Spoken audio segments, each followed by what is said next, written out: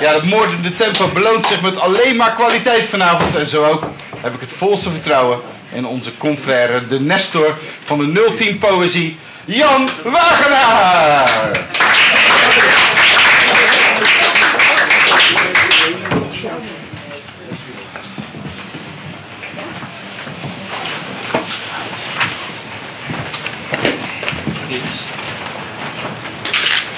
las ik daar straks een wat ouder gedicht voor. Dit is werkelijk echt heel erg nieuw.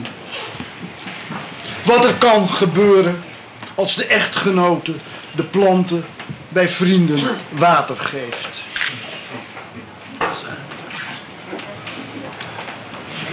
Ik had een lekker hapje meegenomen. Aangezien het bezoek nog niet gearriveerd, trommelde ik vol ongeduld met vingers op tafel en vloer, waar men zoal op trommelt om het bezoek aan te sporen. Het mocht niet baten, geen gebruikelijke trippelpasjes. Het bezoek verwittigde zich niet, zodoende voelde ik mij genoodzaakt het toch zo lekkers het hapje zelf te nuttigen en gelukkig voor jullie werd ik pas buiten onwel en mogelijk, maar dit kan een zachtverständige beter constateren, mogelijk het niet gearriveerde bezoek dat het hapje tot de dood heeft aangespoord, zodoende vanuit het hiernamaals groet. Zoals je begrijpt, de echtgenote weet hier niets van.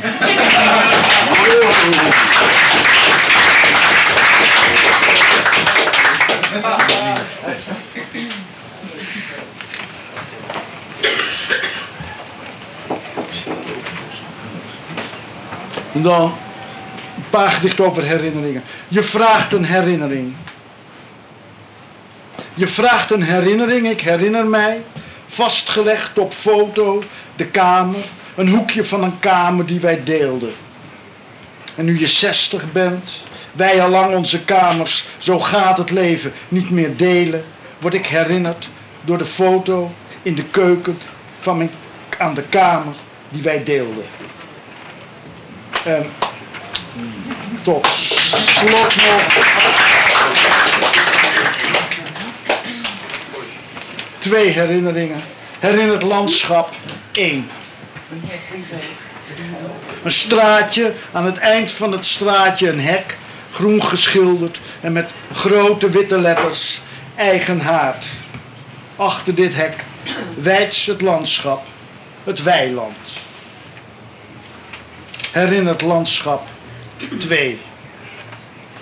Vertelt me wat ik zag, wat ik als kind gezien moet hebben.